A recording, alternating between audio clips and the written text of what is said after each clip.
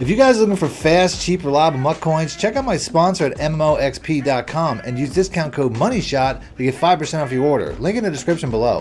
The. Welcome back, Money Team. This is Madden Moneyshot, snipping out the Mad Cheese as always. In today's video, we have another update. Yesterday was College Football 25. Today it's Madden 25. As it's apparent that EA is putting in the extra time to try to fix all the bugs and all the broken issues in their games. Uh, Madden probably needs more work right now than College Football 25, and that's why today's update is going to be a little bit bigger. They address quite a few things. Some things that they said in the previous patch video. I think the last patch was on the third, and I talked about how in that video that they had said that they were going to work on a couple things. Well, they did work on a couple things. So I'm going to get right into that. But before I do, if you guys want to see more update videos like this, if you want me to keep you up to date with anything that changes as far as Madden 25 or College Football 25, please make sure to be a subscriber. Hit like button, let me know in the comment section. Other than that, let's and get right into the video. Now, there weren't actually any patch notes per se released on this particular update, but there was a uh, EA community manager that posted uh, on one of their forums, I think. I'm not really sure, but I have that information here where it says, Hey, Madden fans, a title update is available today for Madden NFL 25. This update is focused on key gameplay fixes and player feedback. Now, probably the biggest one is what they did when it comes to zone coverage adjustments, but the first one I'm going to address is going to be the speed boost uh, custom stem glitch, which is something that they said in the last uh, update that they did fix, even though they didn't fix it, and I mentioned that in yesterday's video as well. Uh, basically, in college football, all they did was once you custom stem a receiver one time, it takes away the option to smart route because that's how you did the glitch. You would custom stem the receiver to any depth, then smart route it, and it would break the route. So in uh, college football 25, once you custom stem somebody, they just took away the ability to smart route. It just disappears off your menu, off your hot route menu. Well, they did the same fix in Madden. So now you can't use the same custom stem glitch. That's gone. I don't know why they said that they fixed it last time, considering that they really didn't. But I can confirm with you that they did fix it this time. It's no longer available. Once you custom stem a receiver, the uh, the smart route option is gone off the off the hot route menu in Madden as well.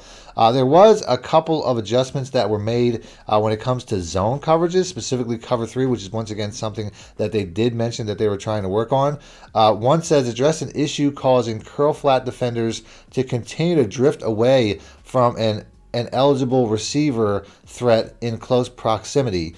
Uh, once again, there's a lot of adjustments when it comes to curl flats. That's one. There's another one that says addressed an issue preventing the curl flat zone depth coach adjustment from working properly when set at when set at less than 15 yards. So those are two uh, curl flat adjustments that they made when it comes to zone coverages not covering properly. Uh, as far as curl flats go, that's typically found in cover three and cover four defenses. So those two defenses should be improved. They also made an, an, an additional adjustment when it comes to the deep third defenders, which once again is outside cover three. Says address an issue causing outside deep third defenders to get out of position when covering corner routes or giving up too much cushion versus corner routes. So basically, they really tried to work on cover three, which is something that they mentioned in the last major patch. That was something that they were trying to do. Now, that's it for the zone improvements or the adjustments that they made, but I know that's not the only zone flat that was having issues. I think cloud flats and hard flats is something that a lot of people are complaining. Uh, they don't typically cover low. If you even if you hard flat and set your set your hard flats to five in coaching adjustments, I know a lot of times that particular particularly outside cloud flats just don't do a very good job of taking away short routes. They still got way too much space underneath. This is something that I hope they address in a future patch because I know that based off of the last uh, patch notes on, on September 3rd that they mentioned cover 3 specifically, but they never mentioned cover 2, uh, and they never mentioned uh, never mentioned cloud flats or hard flats. So that's something that I hope uh, that they see in a video like this.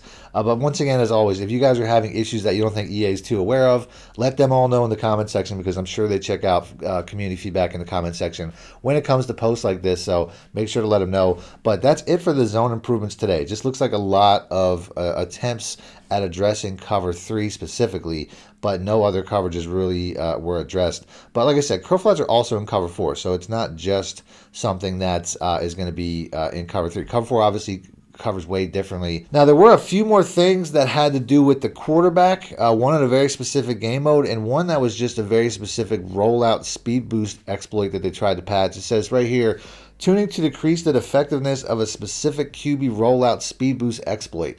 I'm not really sure which one that is. I know that every year there's Um, you know, there's a lot of uh, different bugs when it comes to running with the quarterback uh, and stuff like that. I, I, this particular one I'm not familiar with, but apparently this was an issue because uh, on this post I did see a MUT Leaks post on Twitter and uh, they said that the patch wasn't too major, but then I had some pushback from a lot of people saying it was specifically when it came to squads. Which brings me to my next one here. It says address an issue in squads causing the QB to switch to a teammate after the snap. I can imagine that that could be very uh, troublesome. Squads is pretty popular, so I, I can imagine that um, you know they're going to put a little bit of extra time into that uh, because in the past I don't think a lot of people played squads, but I see a lot of people playing squads now. So it's um, it's good to see that they're they're paying more attention to the game modes that get more exposure. Now, I also have some updates from the same uh, EA Community Manager from the same uh, website, basically giving you guys some updates on some make goods when it comes to some of the programs that failed to roll out on time when it comes to MUT, uh, which in my opinion is kind of a little bit too late. But I guess if you were impacted, you might get some free stuff. So uh, that's probably the most important thing. But I'm going to read what it says here. It says, We have some updates for you guys around the make goods from previous programs and how we're going to distribute them to players. First, we'll be making, uh, we'll be rolling out make goods for Season of Boom, Campus Hero, and AKA, also known as This Morning. Uh, next, we'll be targeting later today to deliver the rest of the Ultimate Alumni and Rookie Premiere content.